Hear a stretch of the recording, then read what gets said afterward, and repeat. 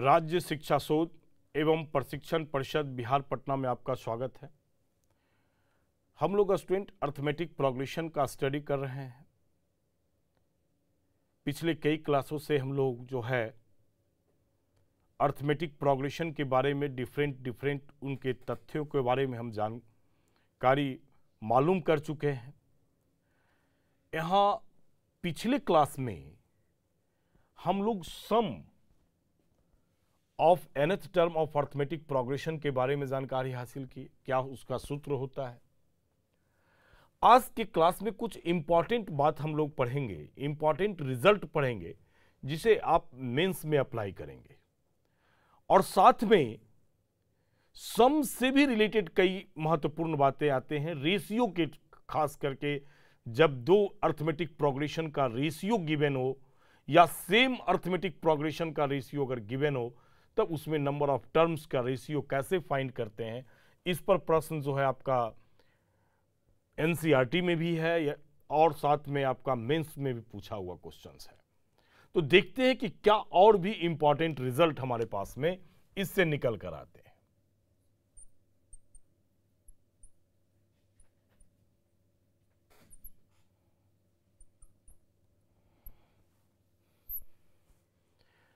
हम आपको ये बता चुके हैं कि A1, A2, A3 इस प्रकार से A4, S1, AN ये हमारे पास में अर्थमेटिक प्रोग्रेशन है। आर इन ए पी तो अर्थमेटिक प्रोग्रेशन में जनरल टर्म के पहले या जिस दिन हम डिफिनेशन का चर्चा किए थे उस परिभाषा के कॉन्सेप्ट में ही हम आपको बताए कि कॉमन डिफरेंस क्या होता है। वहाँ से एक इसके डिफिनेशन से अर्थमेटिक प्रोग्रेशन के डिफिनेशन से ये निकल कर आता है कि किसी भी टर्म को उसके जस्ट प्रीसीडिंग टर्म का डिफरेंस निकाला जाए और वो डिफरेंस थ्रू आउट कॉन्स्टेंट अगर मिल जाता है, तब ऐसी स्थिति में उस अनुक्रम को, उस सीक्वेंस को हम लोग जो है एपी में कहते हैं या एपी कहते हैं। मतलब ये second term minus first term लिख सकते हैं। थर्ड टर्म माइनस आप इसे सेकेंड टर्म लिख सकते हैं। या fourth term minus third term लिख सकते हैं। या so on nth term minus N N minus one लिख सकते हैं। एनथ टर्म में एन माइनस वनवा टर्म को माइनस करेंगे। तो ये इंपॉर्टेंट है। कि d is equal to A N minus A N minus one जैसा आप जानते हैं कि हाँ यन जो है वो नेचुरल नंबर है। यन किससे बिलोंग करता है? नेचुरल नंबर से बिलोंग करता है स्टूडेंट और जब नेचुरल नंबर होगा तो ये नंबर ऑफ़ टर्म भी हमारे पास में नंबर ऑफ़ टर्म की बात करेंगे तो वो वन से शुरू होगा। नेचुरल नंबर होगा तो first term second term, third term so on चलेंगे। तो यहाँ जो ये फॉर्मूला स्टेबल हुआ है, d equal to A N minus A N minus one तो इसमें एटलीस्ट तो इसे वन होना पड़ेगा। और वन होने के लिए यहाँ जो यन का जो वैल्यू है, वो वैल्यू कहाँ से शुरू करना होगा? टू से करना होगा, क्योंकि वन रखते हैं तो ए वन हो जाएगा, और इसमें वन वन रखेंगे अगर यहाँ n equals to one put करते हैं तो ये रिज़ल्ट हमारे पास में ए वन हो जाएगा और A one minus A one तो कहने का अर्थ है कि ए नॉट हो जाएगा मतलब ये ज़ीरो हो जाएगा आपका, जो सीक्वेंस एंड सीरीज़ में पॉसिबल नहीं है। इसका अर्थ है कि नेचुरल नंबर तो है, लेकिन यहाँ जो यन का जो वैल्यू है, वो क्या होगा? Greater than and equal to two होगा। Greater than and equal to two होगा। इस कंडीशन पर यह फॉर्मूला अप्लीकेबल होगा। जब आप टू लेंगे तो ए टू हो जाएगा और minus A two minus one means A two minus A one हो जाएगा, तब ये फ़र्स्ट टर्म में आएगा।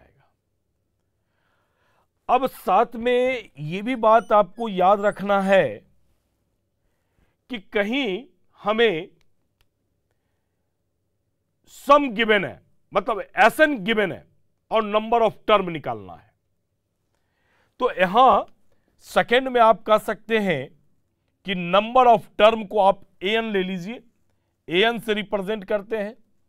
मतलब ए एन इक्वस टू आप S N minus S N minus one use कर सकते हैं। S N minus S N minus one use कर सकते हैं। अब ऐसा क्यों यूज़ करेंगे? इसके बारे में आप सोचिए।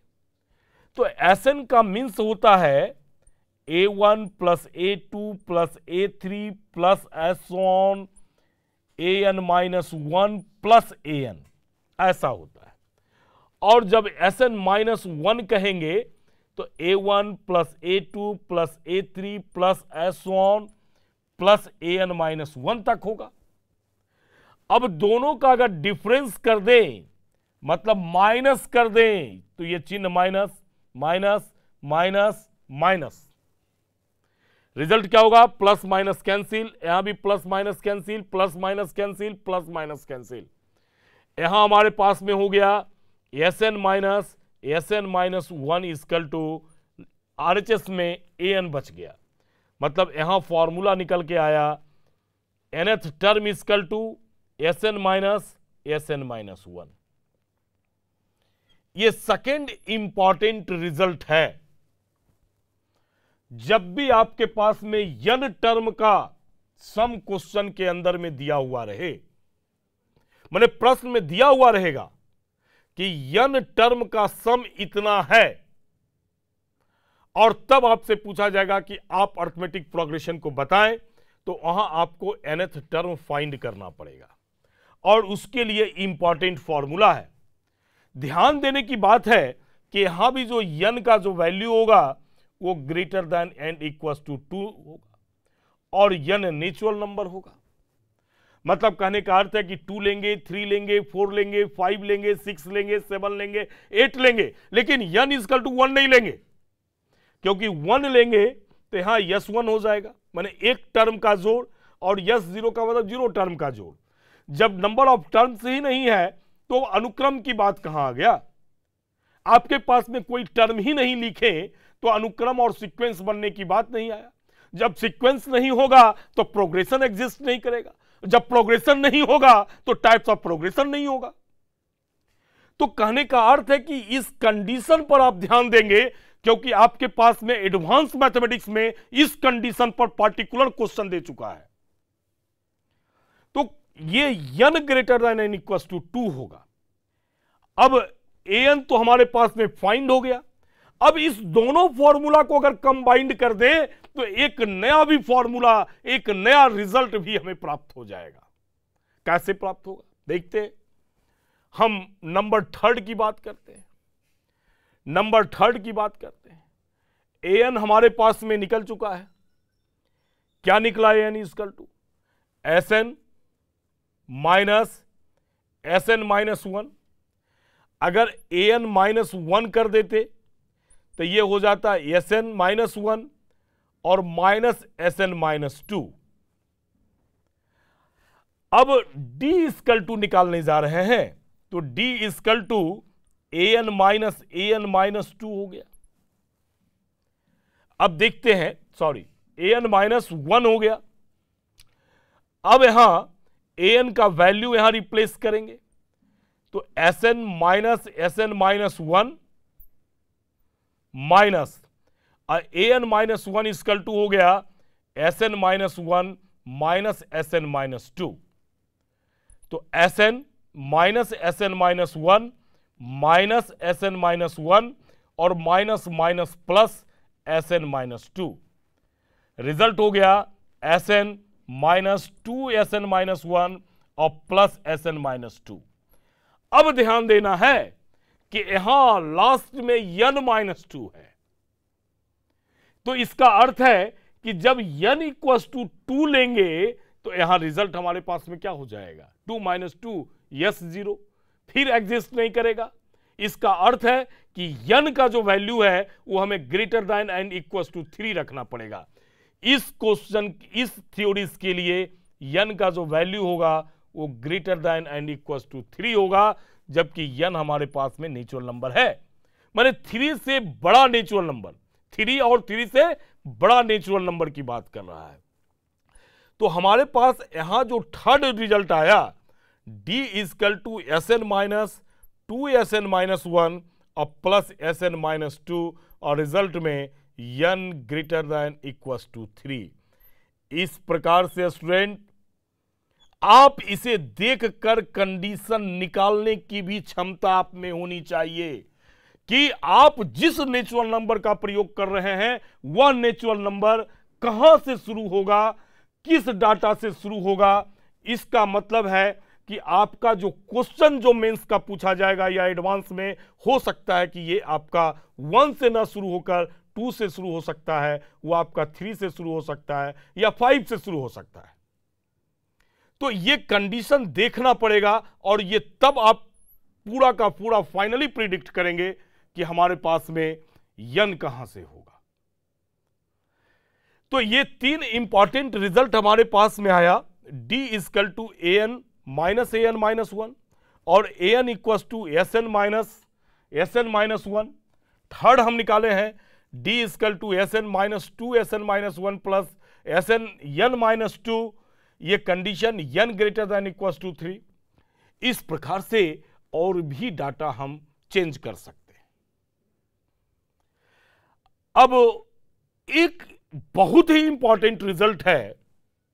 तो रिज़ल्ट जो स्टूडेंट हमारे पास में आया नंबर एक D is equal to A N minus A N minus one N greater than equal to two first second हमारे पास फाइंड हुआ A N is equal to S N minus S N minus one N greater than equal to two third find हुआ D is equal to S N minus two S N minus one plus S N minus two N greater than equal to three अब number four करते हैं। चलिए यहाँ Roman में लिखे शायद वहाँ वन टू थ्री फोर जो भी डाटा हो नंबर फोर करते हैं। नंबर फोर डाटा जो है, किसी भी सीक्वेंस का, को आप अर्थमेटिक प्रोग्रेशन तब कहेंगे, जबकि उसका सम सम की बात कर रहे हैं, जबकि उसका sum A N square plus B N के फॉर्म में हो। बहुत इंपॉर्टेंट रिज़ल्ट आप जब एनसीआरटी के क्वेश्चन को देखेंगे तो शायद आपका जो एनसीआरटी का क्वेश्चन है, उसका बारहवा नंबर क्वेश्चन जो है, इसी फॉर्मेट का क्वेश्चन दिया हुआ है। आप जब सम बनाएँगे, मान लिया जाए कि डॉक्टर किसी सिन्हा की किताब को अगर आप टच करते हैं तो सम का जो चैप्टर लेते हैं, उस सम का जो चैप्टर का क्वेश्चन नंबर तेरहवा जो है, इसी फॉर्मेट का क्वेश्चन है। तो आप देखिए, क्या कहें हम कि किसी सीक्वेंस को अर्थमेटिक प्रोग्रेशन तब कहेंगे किसी सीक्वेंस का, किसी सीक्वेंस को एपी तब कहेंगे या एपी कहेंगे यदि एनथ टर्म का योग A N square plus B N के रूप में फॉर्म में हो। बी एन के रूप में हो। अर्थमेटिक सीक्वेंस को सॉरी सीक्वेंस को अर्थमेटिक प्रोग्रेशन तब कहेंगे जबकि sum of nth term is in an form of A N square plus B N यहाँ जो क्वेश्चन है ए और बी यहाँ कांस्टेंट है और यन से फ्री है, ध्यान रखेंगे। ए और बी एक स्वतंत्र पद है, जो यन से फ्री है इंडिपेंडेंट है। यहाँ ए तथा बी ए तथा बी, यन से स्वतंत्र। यन से स्वतंत्र, कांस्टेंट टर्म है, या यन से स्वतंत्र है। चलिए, इतना ही लिखिए। तो यहाँ दो इंपॉर्टेंट बात निकलेगा कि अगर ये है एस एन स्कल टू आप लेते हैं A N square plus B N और ये अर्थमेटिक प्रोग्रेशन है। तो आपको याद रखना पड़ेगा कि इसका टी एन किस फॉर्म में होगा, और साथ में टीएन क्या होगा, और इसका कॉमन डिफरेंस क्या होगा। देखते हैं कर कर एस एन ये फाइंड हो गया। यहाँ से एस एन माइनस वन निकालेंगे। तो एस एन माइनस वन निकालेंगे तो ए एन माइनस वन का होल स्क्वायर बी यहाँ स्क्वायर नहीं है स्टूडेंट है A N square plus B N है. N minus one means A इसको सॉल्व भी कर सकते हैं हम लोग. N square plus one minus two N A minus B के होल स्क्वायर पर सॉल्व कर लिए हैं. ये B N minus B means A N square plus A minus two N A plus B N minus B. यहाँ से nth term हमारा find हो सकता है।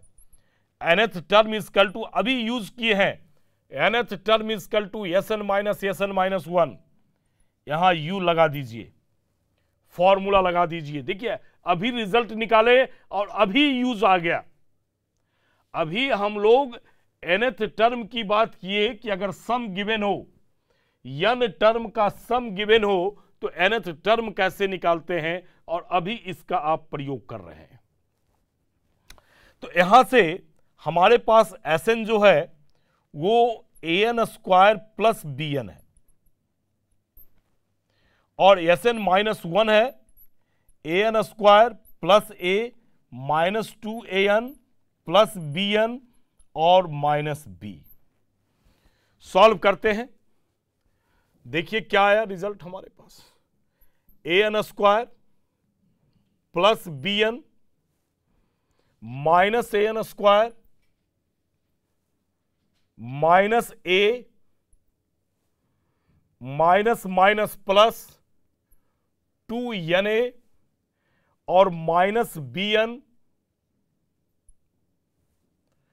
और साथ में प्लस बी यहाँ से ए एन स्क्वायर और A N square plus minus है कैंसिल बी एन प्लस है और बी एन माइनस है कैंसिल अब यन हमारे पास में ये बी ए बच गया। मतलब टू यन ए माइनस ए और प्लस बी हो गया। यहाँ से ए को हम कॉमन ले लेते हैं। ए को कॉमन ले लेते हैं तो two n minus one into a और प्लस बी इसका अर्थ है कि इसका एनथ जो होगा, वो क्या होगा? Two N minus one plus B होगा। बी होगा। मतलब कि अर्थमेटिक प्रोग्रेशन का जो एनथ टर्म का जो सम होगा वह सम क्वाइडिटिक होगा और ऐसा क्वाइडिटिक होगा जिसका कांस्टेंट पद ज़ीरो होगा। लेकिन अगर उसका एनथ टर्म निकालेंगे तो उसका एनथ टर्म जो होगा, वो लीनियर होगा, वो लीनियर के फॉर्म में होगा, या आप कह लें कि लीनियर एक्सप्रेशन होगा। अब यहाँ से ये फाइंड हो गया हमारे पास में ए एन अब दूसरी बात क्या करते हैं? इसका डी निकाल कर देखते हैं कि इसका डी क्या होता है। यन माइनस वन तो यन के पोजीशन पर यन माइनस वन रखे हैं। तो टू यन माइनस वन और minus one into A plus B तो ये हो गया टू यन माइनस टू और माइनस वन इंटू ए और प्लस बी आ गया। तो two N minus three into A और प्लस बी। अब डी फाइंड करते हैं। A N minus, A N minus one को। ए एन मल्टीप्लाई भी कर सकते हैं। तो इसको मल्टीप्लाई करके लिखेंगे तो two N A minus A plus B है। और इसको मल्टीप्लाई करेंगे तो two N A minus three A और प्लस बी है। चलिए ब्रैकेट को ओपन करते हैं, देखते हैं क्या आता है। Two N A plus minus A और ये आ गया plus B.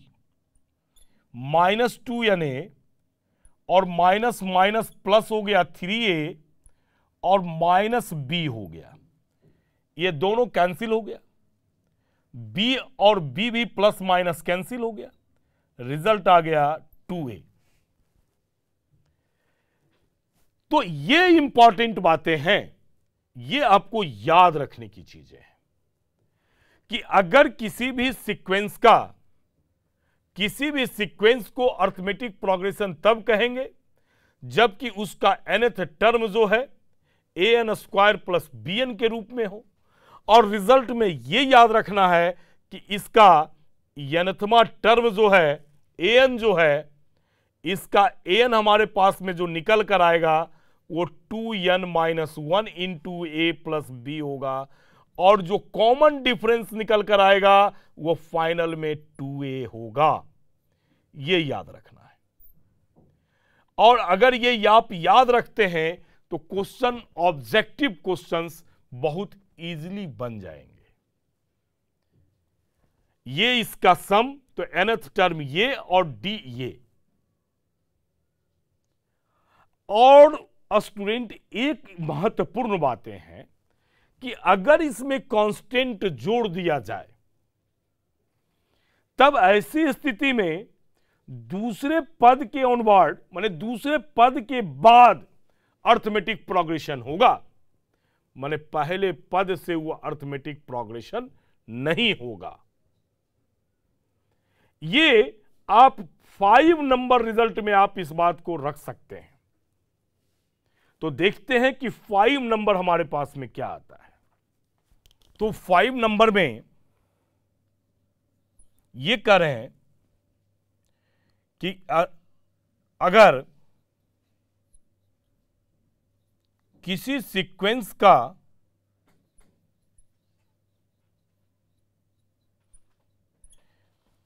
यन पदों का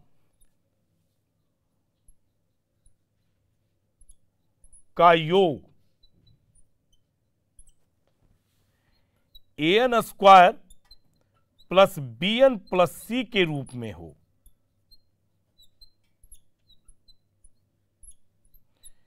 मतलब कि इस थ्योरीज में दोनों को अगर कंपेयर करें तो यहाँ कांस्टेंट नहीं था A N square plus B N था, जबकि यहाँ A N square plus B N plus C था. कांस्टेंट ले लिए. तो ये पूरा सीक्वेंस माने प्रथम पद से ये अर्थमेटिक प्रोग्रेशन नहीं होगा। दूसरे पद के बाद से, या आप कह लें दूसरे पद के बाद, दूसरा पद या दूसरे पद के बाद यह अर्थमेटिक प्रोग्रेशन को शो करेगा। तो हो तो यह दूसरा पद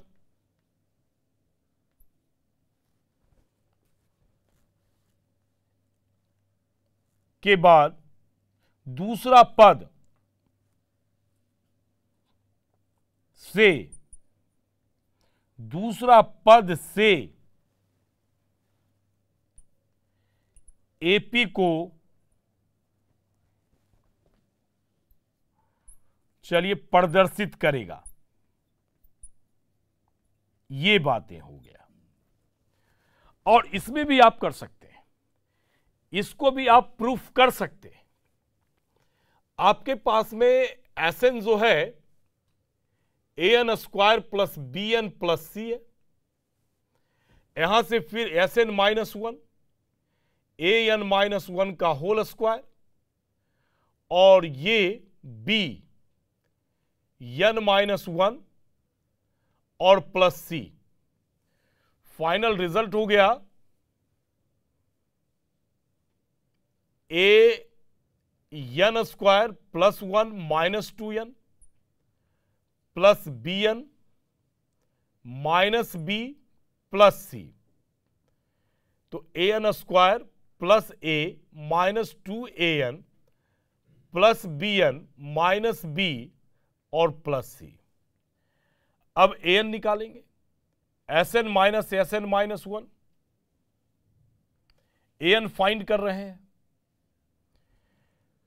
तो हमारे पास में ए एन हो गया A N square plus B N plus C और माइनस करेंगे, यहाँ से स्टूडेंट हम लोग तो रिज़ल्ट हो जाएगा A N square plus A minus two A N plus B N minus B plus C तो A N square A N square आ गया, plus B N, plus C, minus A N square, minus A, minus minus plus two A N, two A N minus B N, plus B minus C. ये A N square cancel. उसके बाद B N भी cancel और सी भी cancel चलिए A N find हो जाता है। यहाँ देख रहे हैं ए दोनों में कॉमन ले लेते हैं। तो two N minus one into A और प्लस बी ये हमारा फाइंड हो गया ए एन इजकल टू अब ए एन फाइंड हो गया। तो यहाँ से हम लोग एस एन निकालेंगे। Sorry A N minus one निकालेंगे। तो ये फिर हमारा हो गया two N minus one minus one into A plus B तो रिज़ल्ट हो गया two N minus two minus one into A plus B तो two N minus three into A और प्लस बी। ये two A N A minus three A और plus B. तो finally D equal to use करेंगे तो A N minus, A N minus one. तो result हो गया A N equal to two N A minus A plus B. और उसमें minus करेंगे। टू एन ए और plus three A minus B का। ये बी और बी कैंसिल, ये और ये भी कैंसिल। फाइनल रिज़ल्ट हमारे पास में D equal to two A आ गया। D A equal to two A आ गया। लेकिन यहाँ जो आया रिज़ल्ट, वहाँ यन का जो वैल्यू होगा वो greater than equals to two होगा। देखिए, इसी शर्त की बात हम कर रहे थे आपसे। यहाँ जो यन होगा, वो greater than equals to two होगा। तो क्या वन पर कौन सा शर्तें फॉलो करेगा? यह देखना पड़ेगा। मतलब यहाँ से तो हम कह सकते हैं कि सेकेंड टर्म इसका मतलब कि two greater than equals to zero यान greater than equals to two का मतलब है कि आप फ़र्स्ट टर्म को छोड़ दीजिए। यहाँ से शुरू कर रहे हैं A two A three A four यहाँ से। एस वन ए एन की बात कर रहे हैं। तो यहाँ three minus two three minus two A P है। यहाँ से तो आ ही गया कि कांस्टेंट है टू ए है। टू ए फाइनल आ गया। लेकिन हम ये अब चेक करेंगे कि क्या यहाँ से टू माइनस ए जो हमारे पास में है, टू माइनस ए, क्या वो एपी को शो करेगा? तो उसके लिए स्टूडेंट क्या करते हैं कि हम जो हमारे पास में रिज़ल्ट आया है, उस रिज़ल्ट को लिख लेते हैं। या रिज़ल्ट तो हमारे पास में लगभग यही है। ए एन स्कल टू इतना और डी स्कल टू इतना। तो आगे देखते हैं कि क्या करेंगे हम। तो ये रिज़ल्ट हमारे पास में अभी आ चुका है। D equal to two A मतलब यहाँ सेकेंड टर्म से शुरू करेंगे। मैंने A three minus A two उसके बाद आगे बढ़ेंगे। A four minus A four minus A three A five minus A four S one A N minus A N minus one ये रिज़ल्ट हमारे पास में टू ए आ चुका है। चलिए। अब हम क्या करते हैं कि A two minus A one करते हैं। अब ए टू को हम लिख सकते हैं student S two minus S one S two minus S one और माइनस ए वन एक ही टर्म है तो इसे भी यस वन लिख सकते हैं। तो S two minus two S one हो गया। अब यस टू दो टर्म रख रहे हैं तो हमारे पास में ये सीक्वेंस है। यहाँ यन इक्वस टू टू रख दें। तो A into two square plus B into two plus C. चलिए माइनस वन रखना है तो two into S one A into one square minus plus है. बी इंटू वन और प्लस सी देखते हैं सॉल्व करके. यहाँ आ गया four A plus two B plus C minus two A minus B और माइनस सी ये कैंसिल ये हमारे पास में आ गया टू ए और बी को माइनस करेंगे तो प्लस आ गया बी मतलब यहाँ रिज़ल्ट आ गया कि A two minus A one is not equal to A three minus A two इसका अर्थ है कि यहाँ से तो सारा आपका कॉमन डिफरेंस सेम था। लेकिन जब first second term minus first term किए तो आपका third term minus second term के बराबर नहीं आया। इससे यह साबित होता है कि प्रथम पद से, प्रथम पद से अर्थमेटिक प्रोग्रेशन को फॉलो नहीं करेगा। कहाँ से करेगा? द्वितीय पद से करेगा। तो जैसे ही आप देखिए कि A N square plus B N है एस एन इक्वल टू तो आप कह दीजिए कि सर ये एपी में होगा। क्लियर और ये भी याद रखिए कि इसका ए एन टर्म जो है two N minus one into plus B होगा और इसका कॉमन डिफरेंस टू ए होगा। एकदम याद रखना है। लेकिन जैसे ही क्वेश्चन आपके पास में मिले कि S N equal to A N square plus B N plus C है, तुरंत आप देखिए इस सी को कांस्टेंट को देखिए। जैसे ही कांस्टेंट नज़र आ जाए आप कहेंगे कि प्रथम पद से अर्थमेटिक प्रोग्रेशन को फॉलो नहीं करेगा। यह कहाँ से होगा? सेकेंड सेकेंड टर्म से वो एपी में होगा। मैंने second term onward second term onward की बात कर रहे हैं कि सेकेंड टर्म से ऑनवर्ड जो है वो अर्थमेटिक प्रोग्रेशन को ऑबे करेगा स्टूडेंट ये सम से रिलेटेड बहुत ही इंपॉर्टेंट बातें हैं। अब सम से रिलेटेड एक और महत्वपूर्ण बातें होती है कि दो डिफरेंट अगर अर्थमेटिक प्रोग्रेशन का सम का रेशियो दिया हुआ हो तो उसके टर्म का रेशियो कैसे निकालेंगे?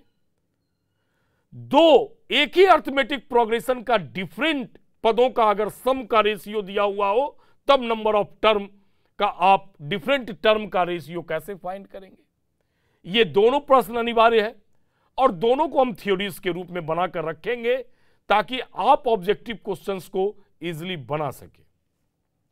आज का जो क्लास है स्टूडेंट यहाँ हम समाप्त करते हैं। अगले क्लास में रेशियो से रिलेटेड जो हमारा होगा, और अगर समय बचता है तो हम प्रॉब्लम को शुरू करेंगे। आज का जो क्लास है, हम समाप्त करते हैं। धन्यवाद।